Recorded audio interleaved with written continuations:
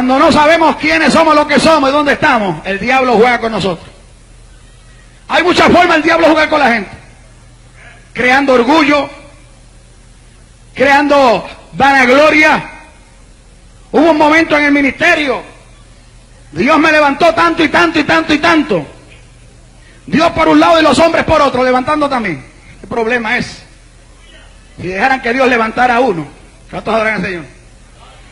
¿Tú sabes lo que es Dios levantando a uno y los hombres también? Ayudando a Dios. Llega el momento en que el hombre se olvida de Dios. Y para olvidarse de Dios no hay quien sea pecar. Dentro del Evangelio te puedes olvidar de Dios. ¿Cuántos adoran al Señor? Llegó un momento, mi hermano, que yo tenía ocho guardaespaldas conmigo en las campañas. Tenían que sacarme de los carros y llevarme a un lugar encerrado y ahí esperar a predicar y ocho guardaespaldas me sacaban para atrás. Nadie podía tocarme, nadie podía hablar conmigo. Campañas de 30, 40 mil personas, nadie me podía hablar. Yo iba a predicar una iglesia así. Uh -uh. Tenía que ser miles y miles de personas. Hasta que en una noche recuerdo yo, la gente hablaba tanto de esto de la cruz. Oye, que el, el ego, el ego se sube. Y es un peligro. Tenga cuidado. Cada vez que una persona le eche el brazo diga, como Dios te usa, reprenda al diablo por dentro. Jeje. Hello. Usted no diga nada, pero por dentro reprenda al diablo. Porque como le gusta eso a uno, como eso como que le gusta a uno. Aleluya. Aleluya. Un día estoy en Massachusetts. Un pastor amigo mío me dijo, Héctor, quédate conmigo esta noche. Le dijo, ok, ¿qué vamos a hacer? Me dijo, vamos a orar. Y yo, gloria al Señor. Qué bueno que no me invitó a ver lucha libre. Que una vez en Massachusetts también un pastor me dijo, quédate en casa. Y yo esperando que me diera la seña para ir a orar y estaba viendo a Hulk Hogan y, y, y otro luchador más ahí. Bendito sea Dios. Alaba. Alaba. Pero este me invitó a orar. Y mientras orábamos, cuando oramos como tres horas, me dijo, te voy a prestar este libro para que lo leas. Y me prestó un libro de Venezuela, de un tal ex sacerdote de Satanás, de un tal Saucedo. Este hombre era sacerdote satánico. Este hombre, bueno, era, era un sacerdote de Satanás tremendo, pero conoció a Jesucristo. Y el libro se llama De sacerdote del diablo a ministro de Jesucristo. Y empecé a leer el libro y a llorar, porque el libro habla de cómo es que en Venezuela está la montaña del sorte. ¿Habrá algún venezolano aquí? Qué milagro, siempre está en estos sitios. Oh, sí hay. Ah, yo sabía, no podía fallar. Pues la montaña del sorte se conoce como la oficina central de Satanás a nivel mundial. Allí hay tres demonios que imperan. María Leonza. Aleluya. Un tal puro que de puro no tiene nada. Pero el demonio más grande es María Leonza, que es el diablo. En, esas, en esa ciudad allá en Venezuela, que se llama Chivacoa, creo que es, se me olvidó. Por allá por Chivacoa, eso queda por allá cerca de Barquisimeto y Valencia. Está esa montaña donde se practica la brujería, el centro de la brujería. Ahí matan niños y se los sacrifican al diablo. Se desaparece mucha gente y se los sacrifican a Satanás. Y yo empecé a llorar. Y yo dije, Señor, si esto pasa en Venezuela, ¿dónde está la iglesia? ¿Dónde están aquellos que dicen que tienen poder? Y me tiré de rodillas airado yo mismo allí contra el diablo. Y digo, Señor, envíame a Venezuela. Envíame a Venezuela. Y de ahí para acá seguí orando por eso. Pasó el tiempo y yo no le había dicho a nadie que yo quería ir para allá. Estoy yo en una campaña. Cuando me van a entregar el mensaje, uno de los pastores dijo, antes de entregarle al evangelista Héctor de la Cruz, vamos a presentar un ministro que vino desde Venezuela, está con nosotros. Yo estaba orando, esperando el mensaje. Cuando le entregaron al pastor, dijo, Simplemente yo he venido, porque yo soy presbítero en Venezuela de las asambleas de Dios. 49 iglesias nos hemos reunido, porque en Venezuela hubo una visión de que un evangelista llamado Héctor de la Cruz tenía que ir para allá a predicar el evangelio. Y me dijeron que él se encontraba aquí y he venido aquí a hablar con él. ¡Uh! ¡Aleluya! Ya Dios lo había comunicado allá. Ay, ay, ay. Bueno, ahí nos pusimos de acuerdo como al tiempo. Dije, vamos a orar. Como al tiempo fuimos a Venezuela. Fue un grupo del ministerio conmigo que siempre me acompañaba. Fueron cantantes, coordinadores, siempre me acompañaban en las campañas.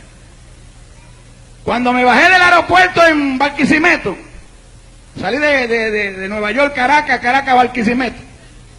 Cuando me bajé del aeropuerto, unos pastores que me fueron a ver, me saludaron, dijeron, hermano de la cruz, lo estamos esperando. Qué bueno que llegó. Dijo, habemos unidas 40 iglesias que proclamamos 40 días de ayuno y oración, una por iglesia. Para que Dios, en los cinco días que usted va a estar en Venezuela, que en los cinco días Dios salve 40 almas. Y yo miré a los que estaban conmigo. Y yo dije, yo he venido a Venezuela a ganarme 40 almas en cinco días. Le dije, 40 almas se salvan en una escuela dominical que predique en Estados Unidos. Acuérdate que está ese orgullo por dentro ahí. ¿Escuchó bien? Hello, ¿está siguiendo esto? ¿Está siguiendo esto? Me dijo hermano de la cruz, respetamos su ministerio, lo respetamos usted. Pero usted sabe, usted ha llegado aquí a las oficinas de Satanás. Aquí los predicadores no pasan de dos días y empezó a mencionarme nombres de evangelistas, no voy a mencionar ni uno por ética. Pero evangelistas conocidos que no pasaban de dos noches allí. Y a mí la cosa se me puso un poco más caliente. Yo dije, espérate, esto está serio. Mm. Dios, todavía decía, yo llegué a Venezuela. yo, yo, yo, yo. El yo es un peligro, ese yo. Porque el yo se convierte en yoyo. Y el yoyo cristiano es marca Duncan. ¿Cuántos conocieron el yoyo Duncan? ¿Qué, era lo que, era lo que, eh, lo, que distinguía el yoyo Duncan? Que cuando usted le hacía así, ¿qué pasaba? Se quedaba abajo, ¿verdad? Pues así el cristiano que siempre está yo, yo, yo, yo, yo, siempre está abajo. ¿Cuántos adoran al Señor? ¿Cuántos adoran a Dios? Son Duncan. Y así estaba yo. Ay, Señor mío, mi alma te alaba. Pero allá, aleluya. Bueno, llegó el primer día de campaña. Estaba aquello lleno de brujos. Brujos, estoy hablando de brujos. No de adivinos que hay por ahí. Brujos. Gente que se levanta en el aire. Brujos en cierta ocasión yo escuché a Gigi Ávila hablar que los miraba cuando volaban y que se convertían en animales. Y yo dije, espérate, este es Gigi, pero esto yo para creerlo. Uh, uh, uh". Pues mire mi hermano, yo lo vi. ¿Escuchó bien? Las fuerzas malignas y los hermanos que vienen de Brasil, esa, esa área de Amazonas por ahí, ¿sabe qué eso es? Ellos le pueden contar mejor que yo. Que el poder del diablo existe. Existe. Pero el poder de Dios va por encima del poder del diablo. Alabanza al Señor. ¡Uh! Se ve. Bendice alma mía Jehová. Cuando empezó la campaña yo miraba a todos aquellos brujos. Habían como ocho mil personas la primera noche. Y yo decía, Dios mío, tú tienes que salvar las almas aquí. Ocho mil personas casi aquí. Cuando me entregaron el mensaje empecé a predicar. Y le puse por tema el mensaje, bueno, los brujos empezaron a hablarme sucio a mí. La palabra más linda yo no se la puedo decir aquí. Pero eh, eh, las alabanzas que ellos dan a Satanás son blasfemias contra Dios. Blasfemias contra Dios, esas son las alabanzas para Satanás. Y yo prediqué esa noche y le puse por tema, si eres brujo y no vienes a Cristo, te vas al infierno. Ese era el tema del mensaje.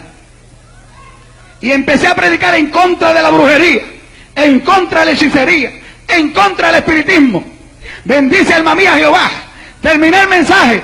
Cuando terminé el mensaje, como 175 brujos vinieron a Cristo esa noche. ¡Aleluya! ¡Uh! ¡Ay! ¿Para qué fue aquello? Cuando yo vi todo ese brujo allí confesando a Cristo, miré al, pastor que dijo de 40 almas. Yo dije, hermano, pasamos las 40 almas. Y él se alegró, pero tú sabes, yo sé por qué se lo dije. Yo, yo, yo. Vendo al diablo. Ah, va, está aquí, más. Es que la misericordia de Dios va, por encima del orgullo. La misericordia de Dios va por encima del ego. La misericordia de Dios. Y cuando Dios quiere hacer algo, hace lucha. Uh, lo hace. Y era que Dios me quería enseñar algo. Si fuera por Dios no se convertía nadie allí. Me, me, me mataban allí. Pero ¿qué pasó? Terminó el culto. La gente no se iba. Yo estaba cansado, yo estaba ya esperando que la gente se fuera un poco para que me sacaran de allí. Habían brujos que me estaban velando. Y no sé cómo, cómo uno se me sube al altar. Y yo que estoy así bien cansado me dice, ¿puedo hablar contigo? Le dije, aquí estoy. Me dijo, ¿por qué tú predicaste en contra de los brujos? Le dije, porque Dios me mandó. Me dijo, la Biblia no condena la brujería. Le dije, ¿condena? Me dijo, mira, pruébame por la Biblia donde Dios condena la brujería. No lo que tú piensas, pruébamelo. Y empiezo a buscarle textos bíblicos, textos bíblicos, textos bíblicos. Cómo Dios condena a los agoreros, los, los que consultan los astros, los brujos, los espiritistas. Cómo es que eso es abominación a Jehová. Y le presenté a un Saúl que Dios lo desechó porque consultó una pitoniza. Y cuando le presenté a Saúl, me dijo, yo no quiero escuchar más nada, escúchame a mí. Y me dijo, escrito está también. Y empezó a hablarme Biblia. Mira, que el diablo hablándome Biblia. El diablo sabe la Biblia, ¿sabe? Y la sabe mejor que yo. Lo único es que no la sabe aplicar. ¿Cuántos alaban al Señor? ¿Cuántos alaban al Señor? Porque el diablo sabe más Biblia que todos ustedes que están aquí. ¿Cuántos lo creen? Lo único es que, aleluya, no le saca provecho. Nosotros lo poquito que sabemos le sacamos provecho. Por eso estamos aquí, tenemos remedio. ¡Alabado! Y me estaba hablando la Biblia.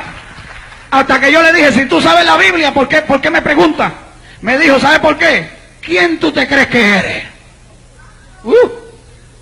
Y así me hacía así, porque aquel medía como seis Dios, como seis pies pulgadas. Y yo, mire, me hacía así. Y yo así. Y yo le dije, yo soy el evangelista internacional Héctor de la Cruz. ¡Wow! ¡Wow! ¡Qué mucho título! Y me dijo, tienes muchos títulos, pero no sabe quién eres.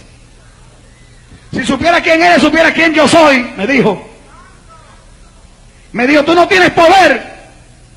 Mire, mi hermano, en esa noche se, se salvaron más de 175, se sanaron más de 200 enfermos endemoniados fueron libres. Y ese hombre me está diciendo al frente de la gente que no tengo poder. Al frente de la gente.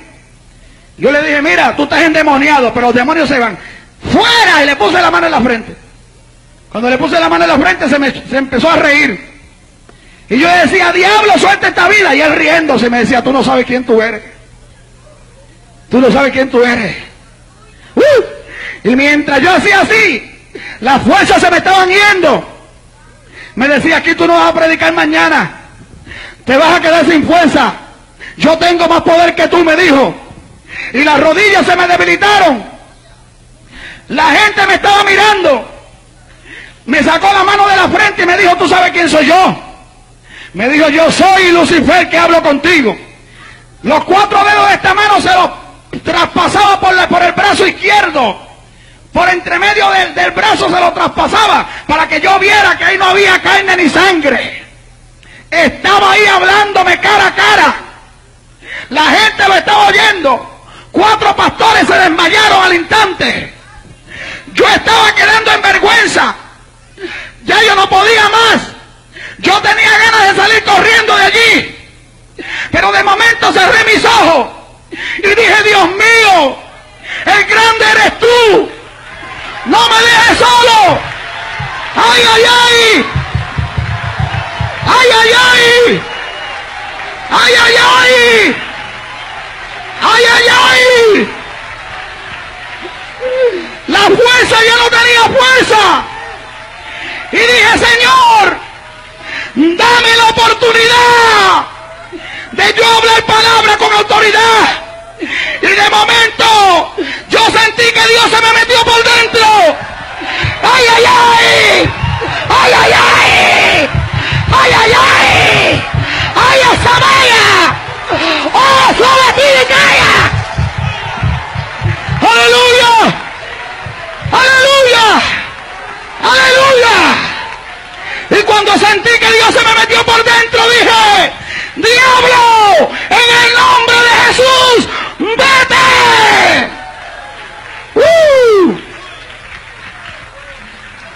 Y cuando dije en el nombre de Jesús, se echó para atrás. Porque si hay algo que el diablo no resiste es el nombre de Jesús. ¿Cuántos adoran al Señor?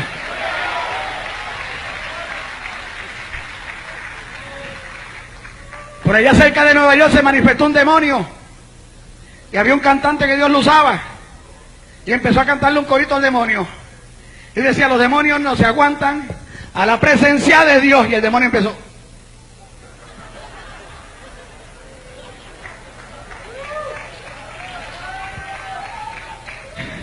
Los demonios no salen con los cánticos.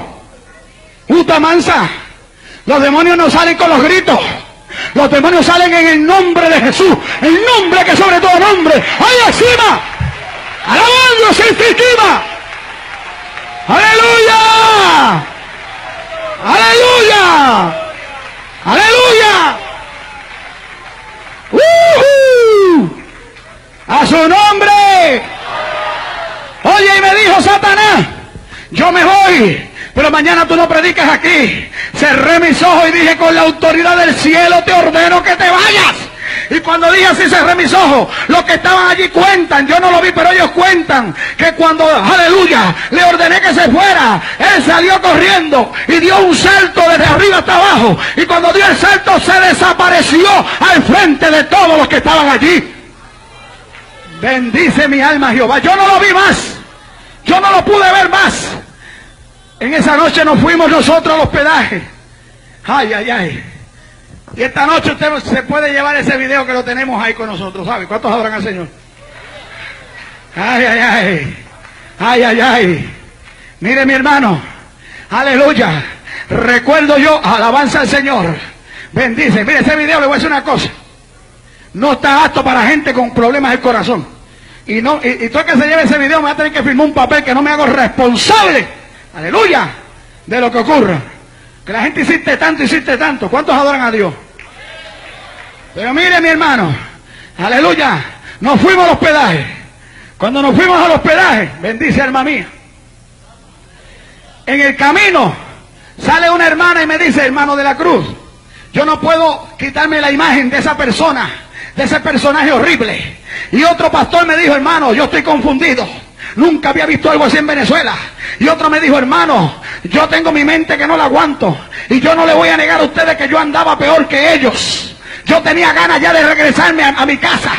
Yo decía, ¿quién me habrá traído aquí en Venezuela? ¿Qué yo hago aquí en Venezuela? Tan cómodo que yo estaba en Estados Unidos. Tan cómodo que yo estoy allá dando campaña. ¿Qué yo hago aquí? Uh. Hay un refrán en Puerto Rico que dice, no es lo mismo llamarlo que verlo venir. Mm. En esa noche yo le dije a los que estaban conmigo, lo que tenemos que hacer, vámonos de rodillas, vamos a orar. ¿Cuántos creen que la oración puede mucho? El diablo me amedrentó, dijo que yo no predicaba el otro día. Ya yo me había quebrantado delante de Dios. Ya yo había dicho que Dios era el grande. Ya yo había dicho que era, aleluya, no es Héctor de la Cruz, es, es, el Señor. Aleluya, es Jehová de los ejércitos. Es el yo soy. Es el alfa y el omega. Es el principio y el fin. El león de la tribu de Judá. El que estuvo muerto pero vive. Nos vamos de rodillas, cada cual en su cuarto, en su recámara. Yo estoy solito en un cuarto por allá. Las dos de la mañana estaba allí llorando y decía, Señor, tú me traiste a Venezuela. Te doy gracias porque me defendiste. Pero ahora yo quiero que me sigas defendiendo. El diablo me dijo que yo no predico, Dios mío, ¿qué tú dices? No permita que yo quede en vergüenza. Dije, Señor, ningún predicador ha pasado de dos días. Dame el privilegio de cumplir los cinco días aquí. Iba y las tres de la mañana y Dios no me hablaba. Y las cuatro de la mañana y Dios no me hablaba. Ay, así, Amanda. Bendito sea el Señor para siempre. Óyeme, mi hermano. Bendito sea Dios. Como a las cinco de la mañana, yo siento que la puerta del cuarto la tiran. Siento unos pasos detrás de mí. Y cuando siento unos pasos no era el diablo, no era un demonio, no era un ángel, era una de las hermanas que estaba durmiendo en uno de los cuartos. El Señor la levantó y sale corriendo en profecía. Y me dice mi siervo, no temas, porque yo tengo un coro de ángeles, no temas, porque tengo un ejército de ángeles, no temas, no temas. Cuando, aleluya, cuando estamos en batalla, el diablo te quiere amedrentar. Cuando tú quieres hacer algo para Dios, el diablo te quiere amedrentar. Y el diablo me dijo, no predica. Y el diablo te dice, no vas a pastorear. Y el diablo te dice, no vas a hacer nada. Pero en esta noche el Espíritu Santo te dice, no temas, no temas, no temas, no temas, no temas, no temas, no temas, no temas. No temas. Santo. Santo. Ponte de pie, varón. Hay unas letras en oro que salen de tu cabeza. Y esas letras dicen ministerio. Y hay una puerta abierta que Dios tiene para ti. No temas, dice el Señor. No temas, dice el Señor. No temas. Dice el Señor. Alaba la gloria de Jehová. Alaba. Alaba la gloria. A su nombre. A su nombre. A su nombre. Uh. Nos levantamos como a las 11 de la mañana, natural, nos acostamos tarde. Empezamos a orar como hasta las 3 de la tarde. Descansamos un poco, comimos. A la noche el culto. Ya no habían 8 mil, habían como 12 mil reunidos en esta ocasión. Se regó la voz de lo que había pasado allí. Entre los 12 mil y pico que habían, más de mil brujos vestidos de blanco tenían un servicio de adoración a Satanás allí. Y todo era para parar la campaña. Y se habían propuesto que yo no predicara allí. Y muchos de los brujos tenían muñecos esos de trapo, de lo que hace la gente a mano. Los tenían con agujas puestas y alfileres, con las patas para arriba y la cabeza para abajo. Y esos muñecos le tenían nombres puestos. ¿Sabe cuál era el nombre que tenía esos muñecos? Héctor de la Cruz. Y yo dije, mira qué bruto es el diablo. La gente por ahí ni sabe a lo mejor que aquí estamos dando una campaña y el diablo me está anunciando. Mira, mira, mira. ¿Cuántos adoran al Señor? ¿Cuántos adoran a Dios? ¿Cuántos le alaban? ¿Cuántos le alaban? ¿Cuántos le alaban? La Biblia dice que los que aman a Dios todas las cosas obran para bien. Aún lo que el diablo te ha hecho obra para bien a tu vida. Aún lo que el diablo ha venido contra ti obra para bien. Aún lo que los demonios quieren hacer obra para bien. ¡Uh! ¡Santo! ¡A su nombre! Bueno, empezó a llover esa noche, la segunda noche de campaña. Y estaban allá danzando los brujos y brincando. Y me extrañó porque los brujos estaban adorando más al diablo que los cristianos a Dios. ¿Qué problema? Los brujos brincando allá y los, muchos cristianos ahí mojándose pero con frío. Y empezaron a irse la gente. Cuando me entregaron a mí yo dije, bueno, porque ustedes se están yendo?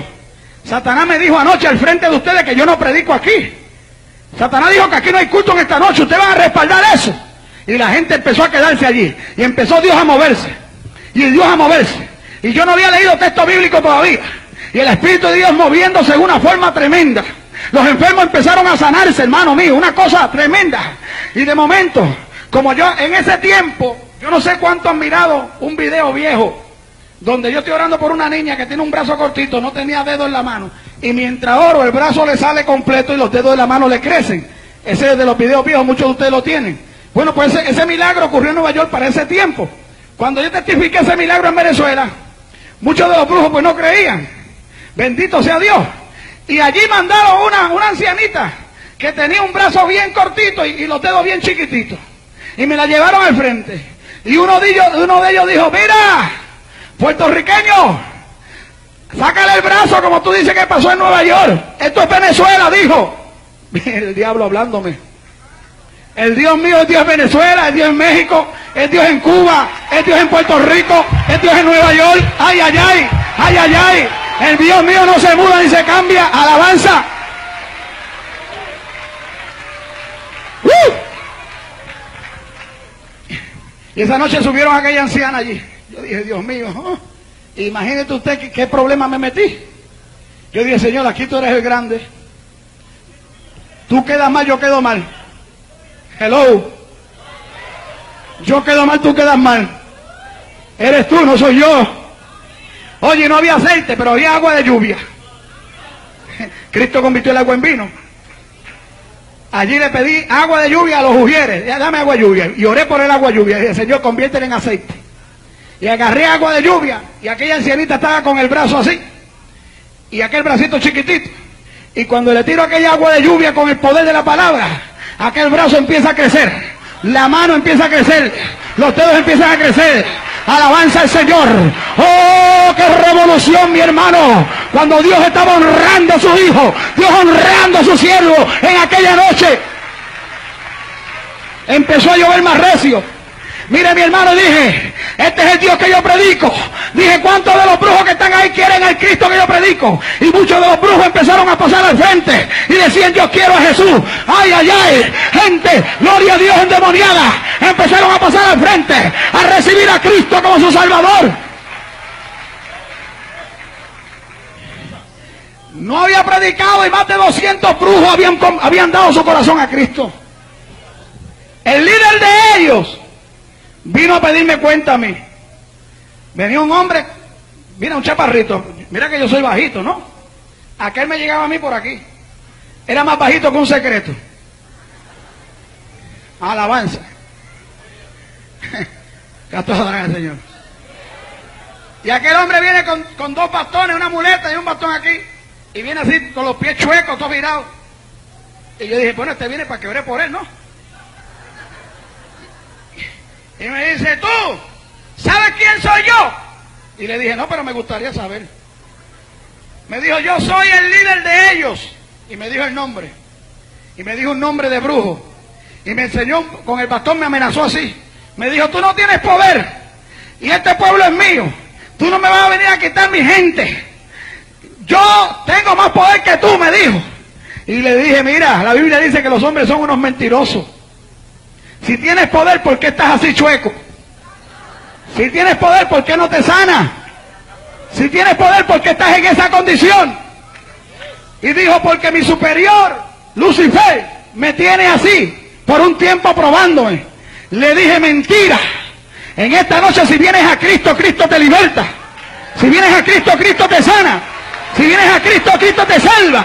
Arriba, Sabatán, soy de King, de. ¡Alabanza! ¡Aleluya! Y cada vez que le decía a Jesús se tapaba los oídos y decía, yo no vine a escuchar nada de él. Y le dije, yo estoy seguro que Cristo te sana. Le dije, dame esa muleta, dame los bastones. Me decía, no puedo. Y dije, Dios mío, honra a tu siervo. Y me dio una de esas locuras que me da a mí. Me volví loco. Cuando me volví loco en el espíritu salí corriendo. Y el hombre estaba agachado así contra la plataforma. Salgo corriendo y me lo voy por la parte de atrás, le agarro las muletas y arranco a correr para acá. Y me dice, tú no puedes tocar eso. Le dije, ya las toqué, toma. Me dijo, no puedo caminar. Y el, y el cuello así, los pies chuecos. Le dije, en el nombre de Jesús de Nazaret, a quien predico, comienza a recibir salud en tu cuerpo. Reprendo a los diablos y demonios que tienes encima por el poder de la palabra. Y mientras decía así, decía, yo no puedo, yo no puedo, y se le enderezó este pie. Decía, yo no puedo, y se le enderezó el otro. Decía, dame que yo no puedo. Y empezó a caminar. Y no se había dado cuenta de que estaba caminando. Cuando se dio cuenta, así, así, levantó los brazos, salió corriendo y dijo, yo quiero ese poder, yo quiero ese poder, yo quiero ese poder,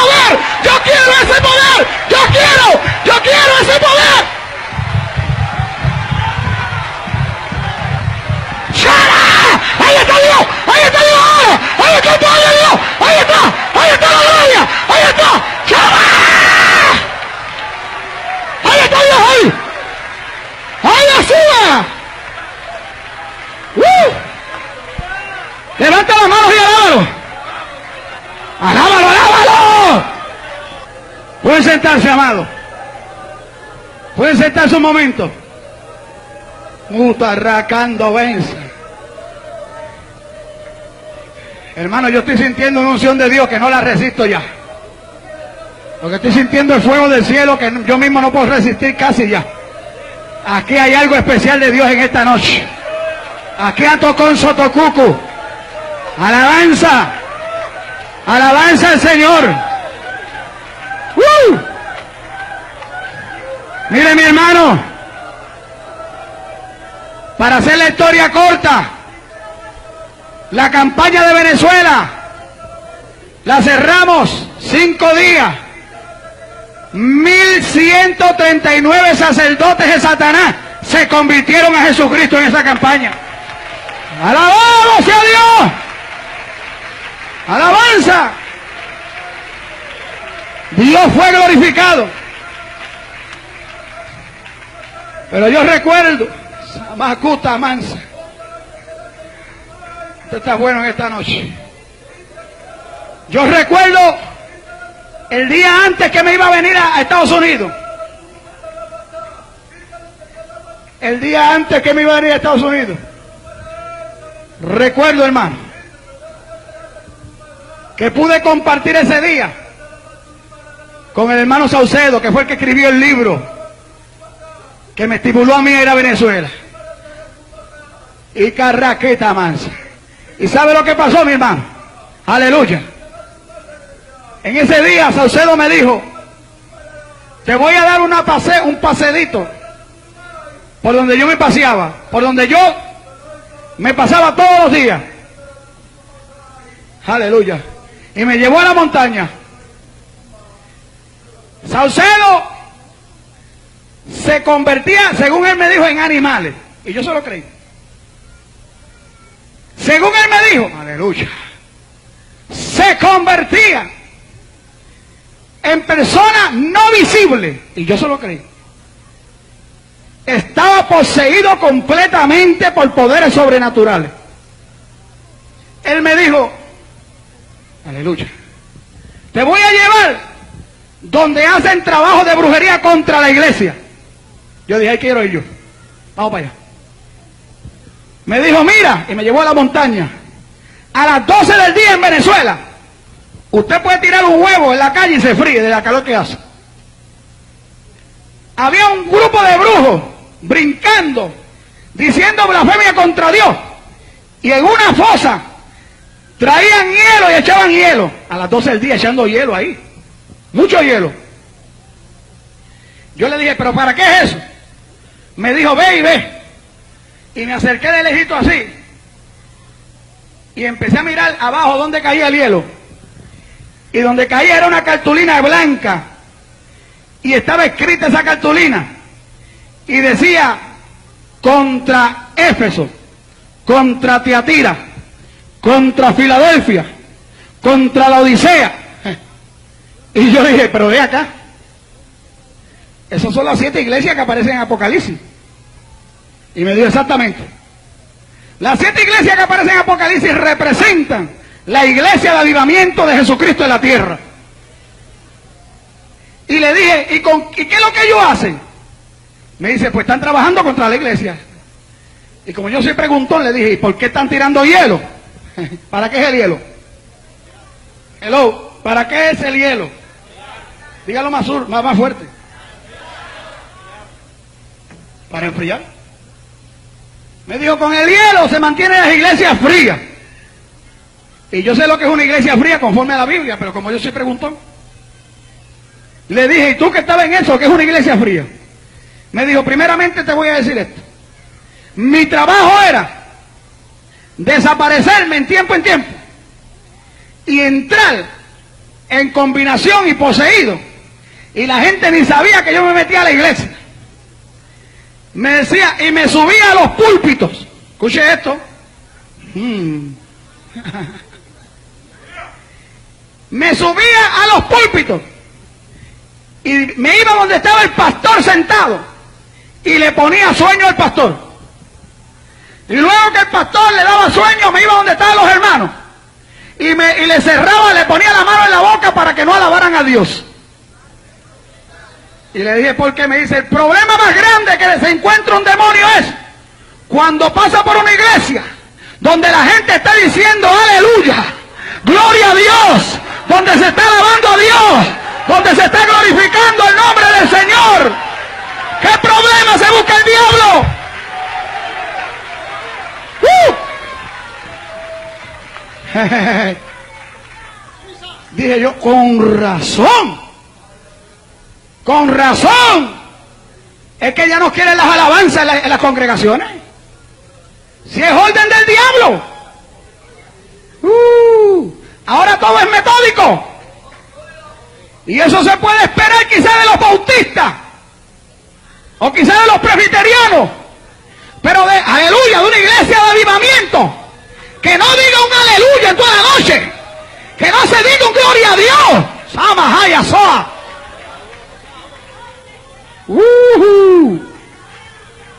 Aleluya.